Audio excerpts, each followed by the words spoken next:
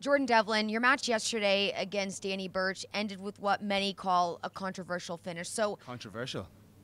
Charly, I watched that whole thing back in the hotel last night. The only thing controversial about last night's show was Michael Cole and Nigel McGuinness up in the announce booth not making me their favourite.